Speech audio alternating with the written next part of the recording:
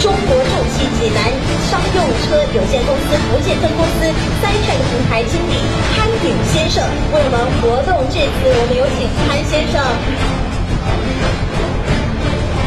在此，我宣布三善二零一四路演活动福州站正式启动，谢谢大家。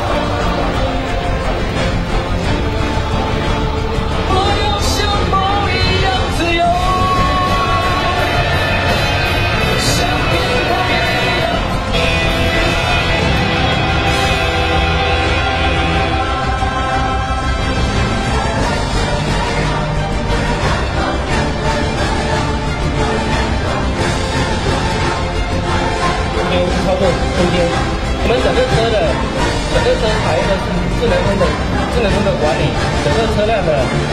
是二零一二年，二零一三年，好，